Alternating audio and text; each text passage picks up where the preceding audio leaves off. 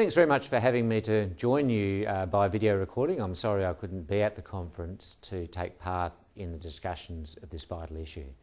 Uh, we're returning to the topic of unemployment after a period of uh, more than 15 years of uninterrupted expansion in economic output, a period which unfortunately was largely wasted in terms of the chance for a sustained and sustainable return to full employment.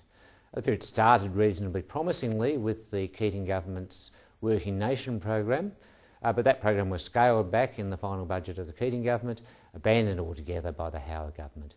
And after that, we really saw unemployment drop off the policy radar.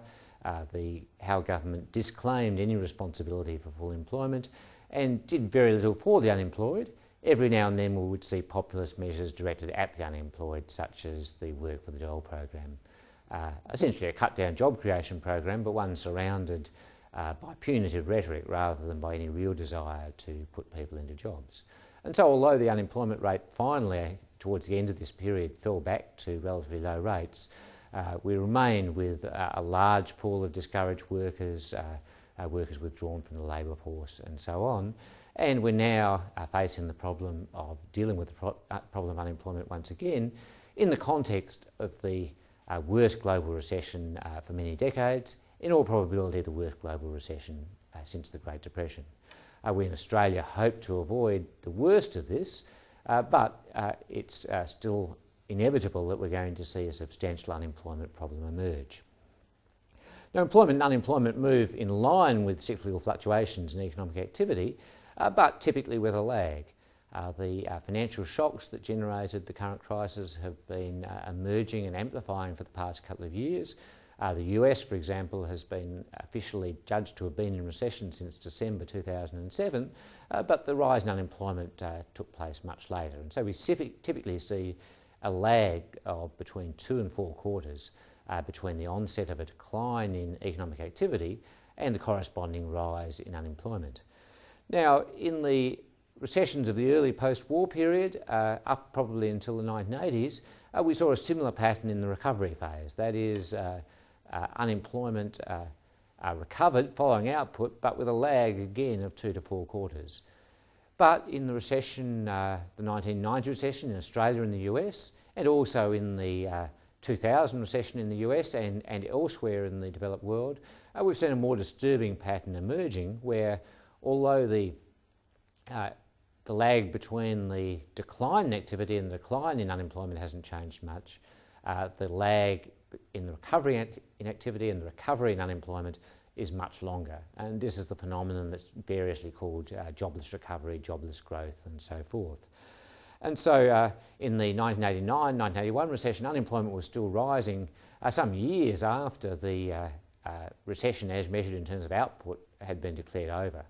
And uh, it took a very long time indeed, indeed as I mentioned, 15 years before we saw unemployment return to pre-recession levels. Now, looking at this output employment distinction, we see that the Australian government's response to the crisis so far has focused mainly on measures designed to stimulate and sustain output. And that makes fairly good sense because uh, the big concern is that we will see the kinds of cascading uh, output shocks that have occurred in so many other countries. So we've seen measures such as uh, cash handouts with an encouragement to uh, spend those on consumer goods and infrastructure projects uh, which really uh, aimed at sustaining activity in the construction sector. Although those measures have beneficial effects on unemployment, and we've seen some estimates of those, uh, they're not likely, certainly in their first round effects, uh, to be nearly as cost effective uh, as measures directly targeted at employment. So the justification for these measures is to sustain the overall level of economic activity, uh, prevent a downward multiplier effect from emerging. Now we can see this in the um, May federal budget. Uh, the budget projects that in the absence of the stimulus package, unemployment will reach 8.5% uh, next year. Even with the stimulus package, it's expected to be well above 7%. But uh, compared to the uh, prompt and vigorous and large-scale response to uh, maintaining economic activity, there's really very little in the budget uh, that could be said to be directed at the problem of unemployment. most obviously and notably, no increase in unemployment benefits, even though um, old age pensioners received an increase in their benefits, further widening the gap between uh, old age pensioners and, um, and the unemployed. That was justified, uh, not uh, uh, by any means uh, entirely justifiably, but uh, under Howard government by the notion that in, the, in this long boom, a substantial part of unemployment had a voluntary character to it, that the unemployed needed to be given a spur to re-enter the labour market. To the extent that justification had any merit at all, it has clearly disappeared uh, in the current crisis. It's going to be very difficult both for the newly unemployed uh, losing their jobs in this crisis and for those who are unable to find work before the crisis to regain employment any time in the near future. Uh, there's also um, uh, 1.5 billion for the Jobs and Training Compact, much of which had been announced before the budget, uh, and mostly on training, which is good long-term policy, uh, but only of limited value uh, for people who are out of work. Uh, there's also a $650 million jobs fund designed to support local jobs in local areas hardest hit by the downturn. Again, a worthwhile initiative, but uh, in the context of a $50 billion deficit and tens of billions of dollars on infrastructure, uh, really a fairly small scale initiative. What that means, I think, uh, is not to, to criticise the government for its actions so far, but to stress the point uh, that we're going to need a further stimulus package. And I think that's uh, clear in a number of countries around the world, uh, both those that have engaged in some stimulus and those that haven't, that the likelihood that we will see a recovery sufficiently strong to generate uh, a sustained recovery in employment from the crisis is quite small. We really need to look at a further stimulus package. Uh, and uh, this should be targeted at employment and it should be introduced rapidly. I mentioned the Working Nation program. It was in many ways a, a, um, a well-designed and well-thought-out program, but it wasn't introduced until well after the depths of the recession had been reached.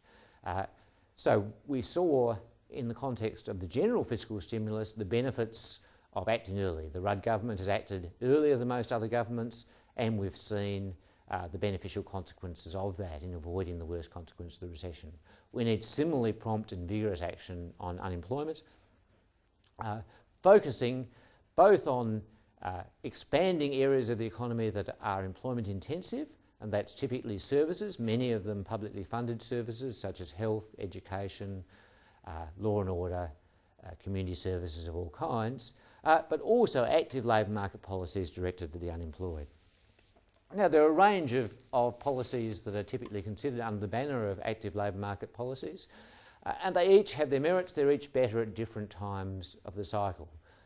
So, uh, most of the time, the best thing to provide the unemployed with is training, both uh, specific vocational training, uh, general job readiness training, and ideally uh, looking at the entire labour market, uh, the kind of general education that produces flexible workers capable of moving uh, from one career to another as is necessary over the life course. That's best in normal times, but it really is not of very much use in the, in the downturn phase of recession when employers are laying off staff, uh, they're not really that interested in the question of uh, people who have done relatively short courses aimed at improving their job readiness. Uh, the second uh, range of policies is wage subsidies of various kinds. These can be either the removal of disincentives to employment, such as payroll tax, or explicit subsidies for, for employers who hire out of the pool of, of long-term unemployed. Uh, these are useful in recessions, but again, uh, most useful in the, uh, in the early stages of recovery when employers are starting to hire and when uh, the, the need is to give them incentives to take people on rather than, uh, for example, expanding the hours of those, those workers that they've kept on, kept on staff. So the third alternative, and one that um, we need to fight for each time, unfortunately, in recession, is direct job creation. So uh, long derided as, as painting rocks white and so forth, and there's no doubt that uh, job creation projects can be of that kind if the focus is on making the unemployed work rather than on uh, matching unemployed workers with unmet social needs. So it's important that we shouldn't restrict the, restrict the range of job creation projects by, for example, excluding anything that might normally be done in the course, say, of the activities of, of governments or councils. We should be looking at uh, directly expanding jobs uh, with the hope that these will lead to a permanent expansion in employment. Uh, we really need to focus on this area in the context of the downturn phase, the recession, and the likelihood of a fairly long period of uh, flat, uh, weak uh, unemployment uh, demand, and therefore rising employment and underemployment continuing well after output has started to recover.